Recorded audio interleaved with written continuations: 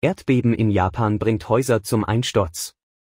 Ein starkes Erdbeben hat weite Gebiete Japans entlang der Küste des Japanmeeres erschüttert und eine Warnung vor einem Tsunami ausgelöst.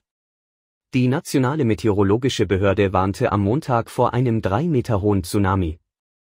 Besonders betroffen war die Präfektur Ishikawa. Dort könne ein Tsunami von bis zu fünf Metern auf die Küste treffen, hieß es. In einigen Regionen wurden bald nach der Erschütterung erste Flutwellen von mehr als einem Meter registriert. Die Bevölkerung wurde aufgefordert, sich in Sicherheit zu bringen. Wie japanische Fernsehsender am Montag berichteten, stürzten mehrere Häuser in den betroffenen Regionen an der Küste des Japanmeeres ein. Einzelne Straßen und Parkplätze wurden aufgerissen, in einer Fabrik brach ein Feuer aus.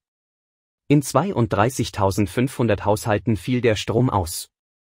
Zudem sind nach Angaben der Netzbetreiber teilweise auch die Telefon- und Internetverbindungen ausgefallen.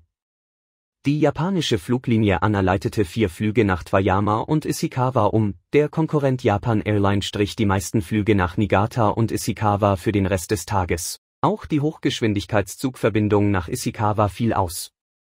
Berichte über Verletzte lagen jedoch zunächst nicht vor. Laut der Regierung kam es in Atomkraftwerken der Region zu keinen Unregelmäßigkeiten. Auch im Raum der Hauptstadt Tokio gerieten Gebäude ins Schwanken, die Regierung richtete einen Krisenstab ein. Epizentrum lag in geringer Tiefe. Die Erschütterung von 16 Uhr und 10 Minuten 8.10 MEZ hatte nach vorläufigen Angaben eine Stärke von 7,6. Zunächst war sie mit 7,4 angegeben worden.